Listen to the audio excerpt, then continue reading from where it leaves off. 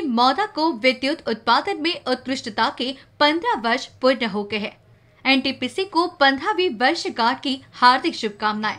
21 अगस्त 2014 को भारत के माननीय प्रधानमंत्री द्वारा Mauda super thermal power station stage one राष्ट्र को समर्पित किया गया। एनटीपीसी लिमिटेड, भारत सरकार का उद्यम विद्युत क्षेत्र में अग्रणी। स्थानीय भूमि अभिलेख कार्यालय फिर से चक्कर मार कार्यालय बन गया है। पिछले माह उप अधीक्षक भूमि अभिलेख हिंगन घाट के कई अनियमित प्रकरण की ओर शासन का ध्यान विधायक समीर कुनावा ने खींचा था कार्यालय के अधिकारियों की अनियमितता को उजागर करने पर कार्यालय की उच्च स्तरीय जाँच के आदेश महसूल मंत्री राधाकृष्ण विके पाटिल ने दिए थे।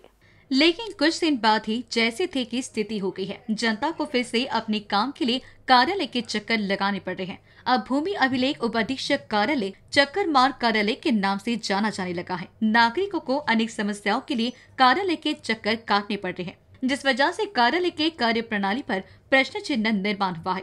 अभी भी नागरिक भूमि अभिलेख कार्यालय के ढीले काम से त्रस्त हो गए हैं।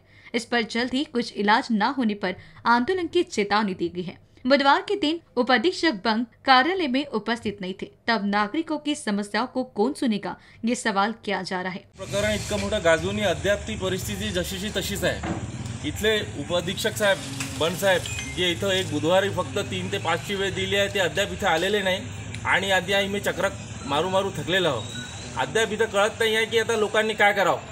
लोकांनी आता कुठलं पाऊल उचलावं? आता लोकप्रतिनिधींनी एवढी मोठं पाऊल उचलल्यावर अद्याप पै परिस्थिती जशा तसेच आहे. आता माझी नम्र विनंती आहे इथल्या लोकप्रतिनिधींना की इथलं समोरचं काय यांच्यावर ॲक्शन घ्यायला पाहिजे तुम्ही लवकरात घ्यायला पाहिजे नाही तर हे तीव्र आंदोलन करण्यात येईल. एनबीसी न्यूज के लिए हिंगन घाट से रवि येनोरकर की रिपोर्ट.